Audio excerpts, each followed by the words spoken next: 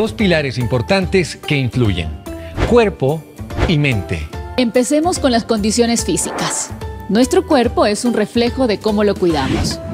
Todo esto repercute en nuestro estado de salud y será transmitido al futuro bebé. Por lo tanto, es importante que consideres lo siguiente. Asiste a una consulta preconcepcional para hacer un diagnóstico temprano de potenciales peligros como enfermedades, factores de riesgo existentes en tu entorno doméstico o laboral, hábitos perjudiciales para la salud como mala alimentación, consumo de tabaco, alcohol, automedicación y conductas sexuales de riesgo o estrés. Con esta información, un profesional te podrá dar recomendaciones individualizadas de acuerdo con tu edad y estado de salud para aplicarlos en tu vida diaria y en tu proceso de preparación.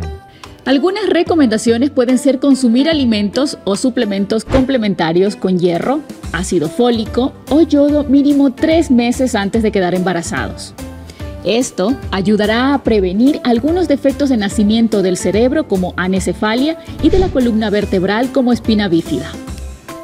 Otra recomendación será realizarte exámenes médicos para conocer tu estado de salud y descartar posibles enfermedades o deficiencias que puedan ser heredadas al bebé. En el caso de identificar alguna enfermedad, un especialista de salud podrá tratarla oportunamente antes de la gestación.